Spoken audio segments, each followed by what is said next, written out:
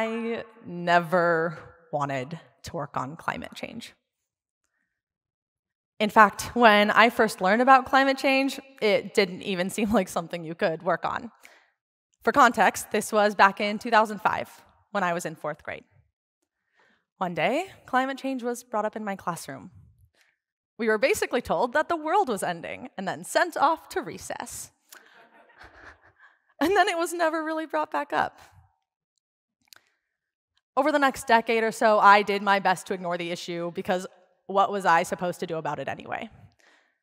But I found myself occasionally remembering that climate change was happening.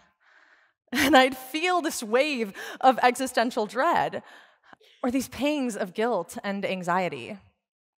But I didn't do anything about it because climate change still felt like this far off problem for far off people. I alternated between feeling like the problem was too big to tackle and then like it wasn't actually relevant to my daily life.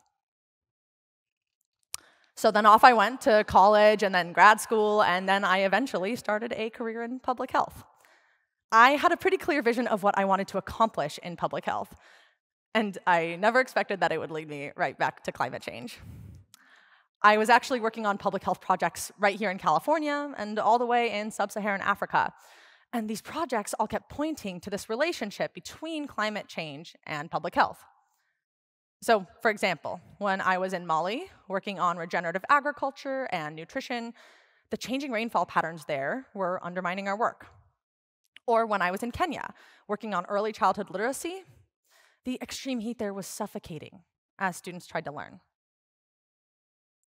I realized that everywhere I went, climate change was impacting the very problems and solutions that I was working on in public health which meant that to have the impact I wanted, I had to start working on climate change. And to be totally honest, this made me so mad. I didn't feel like climate change was supposed to be my fight. I'd chosen to work in public health. And I was resentful and frustrated because it didn't feel like I had much choice in the matter anymore. And then that frustration only grew as I learned about the extent of climate's impacts on our health. As a quick warning, the next minute or so is going to be a little bit depressing because I'm going to share some of those impacts. First and foremost, extreme heat is already leading to deaths, ER visits, and hospitalizations all over the world. In 2019, 345,000 people over 65 died due to extreme heat. This particularly affects the elderly, young kids, and people who work outside. In fact, we lost 295 billion potential hours of work to extreme heat exposure in 2020. For scale, that's 34 million human years. As weather patterns change, new and broader geographic regions are becoming ideal breeding grounds for mosquitoes. So the threat of infectious diseases like Zika, malaria, dengue, and chikungunya is on the rise, and these diseases are now spreading to places they've never been seen before. Across the continent, wildfires are wreaking havoc on our communities. Entire towns like Paradise, California, have been destroyed and their citizens displaced.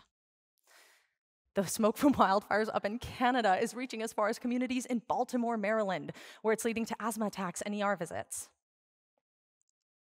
And I don't need to be the one to tell you that extreme weather events, like hurricanes, are getting worse and more frequent. We recently saw Hurricane Ian sweep through Florida and then move its way up the East Coast, where it led to over 100 deaths and $75 billion in damage. And finally, I want to touch on something that we're just now understanding. Climate change also impacts our mental health. We are seeing new phenomena like solastalgia, which is the distress caused by environmental change that impacts people in their home environment. We're also seeing rises in eco-anxiety, which is the chronic fear of environmental cataclysm and the resulting concern for your future or that of next generations. In fact, in a recent study from The Lancet, they found that 75% of youths feel that the future is frightening due to climate change. When I first learned that statistic and heard the term solastalgia and eco-anxiety, I realized that nine-year-old me wasn't alone. Climate change is scary and for good reason. It's probably not surprising then, given those statistics, that I was really pessimistic about climate change. And what it meant for people. And this went on for a long time, years, actually. But that all changed when I started researching and working on solutions. In 2020, I started and ran the UCLA Center for Healthy Climate Solutions, where we studied how climate solutions could create benefits for people's health. And a few months ago, I took everything I learned there and started my own organization, Parachute.earth. Parachute is centered around a research and storytelling project where we investigate and share how climate solutions can make our cities and our lives more beautiful and vibrant and resilient.